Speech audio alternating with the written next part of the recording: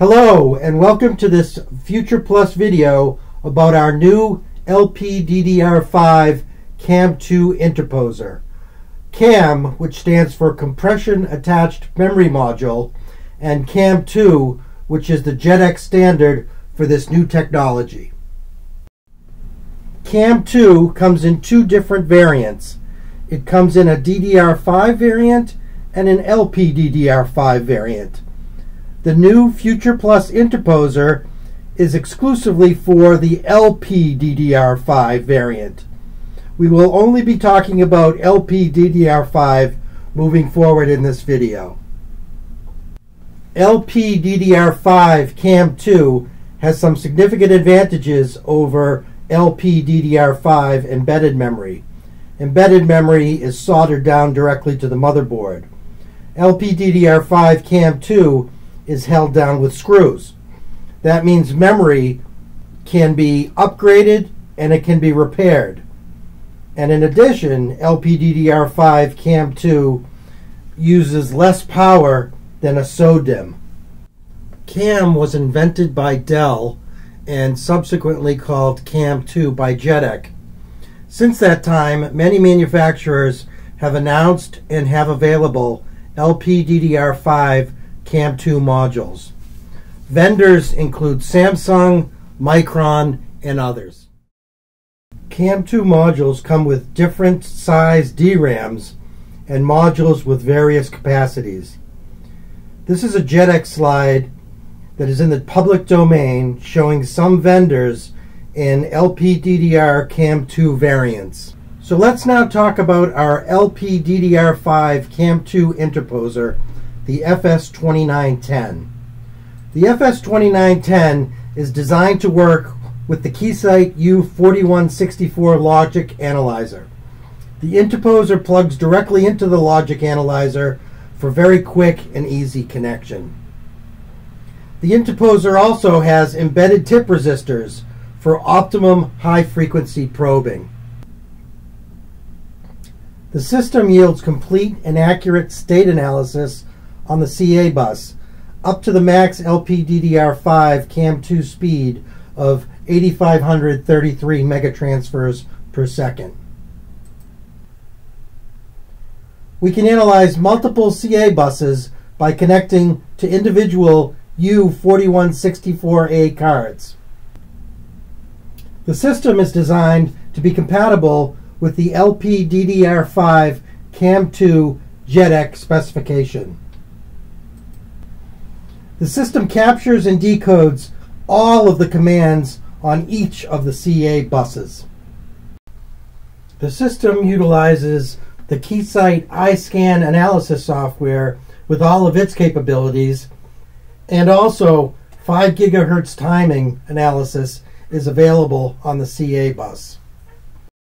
This is a photo of the Keysight U4164A logic analyzer with four modules. It is attached to a slot interposer making DDR4 measurements. We are now ready to start looking at the FS2910 LPDDR5 CAMM2 interposer itself. This is a block diagram of the interposer makeup. On the very bottom is the motherboard PCB labeled MB PCB. Contacting the motherboard is the signal pass-through connector. The connector, modified by FuturePlus, passes all signals to the interposer. The interposer probes the command and address signals, routes them to the cables, and then on to the logic analyzer. The interposer passes all signals to a second modified signal pass-through connector and then on to the CAMM2 module. The previous block diagram level description was not drawn to scale. This is a 3D mechanical model showing the stack up exactly to scale. The height of the pass-through boards were very carefully analyzed to ensure the cables and connections have adequate room both mechanically and electrically.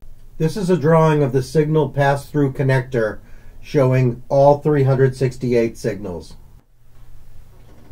This is a depiction of the signal pass-through connector with all signals labeled. This shows the left half of the connector. The, th the signals shown with the solid border are the command and address signals. The command and address signals are probed and routed to the logic analyzer. Similarly, this is the right half of the pass-through connector. The signals with the solid border are command and address signals probed and routed to the logic analyzer. Okay, now that we understand all of the signals involved, this is another depiction of the stack up starting at the motherboard. Just as a note, JEDEC specifies a stiffener plate on the back side of the motherboard. It is shown here as well. Above the motherboard, the next three levels are the pass-through connectors and the interposer in between. The interposer comes complete with the modified pass-through connectors and the interposer with cables permanently attached on the interposer end and logic analyzer connectors on the other end. For reference, the pass-through connectors are each 2.85 millimeters in height. We worked very hard to minimize the keep-out area below the cable connections. A drawing of the keep-out area is available upon request. This is our latest data sheet for the FuturePlus LPDDR5 CAMM2 interposer. As you can see, all of the salient features of the product are listed on the datasheet. We've included the LPDDR5 signal pinout with labels. The interposer module size and some screen captures are in the datasheet as well.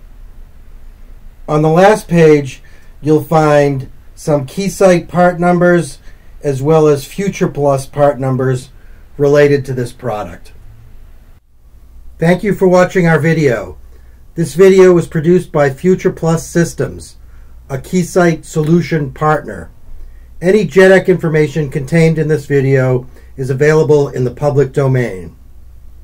Please contact us at FuturePlus Systems if you would like any additional information or would like to set up a conference call with our sales team. Thank you again.